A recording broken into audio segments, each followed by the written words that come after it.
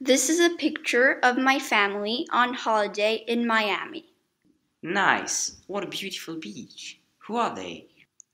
They're my parents, my brother, my uncle, my aunt, and Larry, a friend of the family and our neighbor.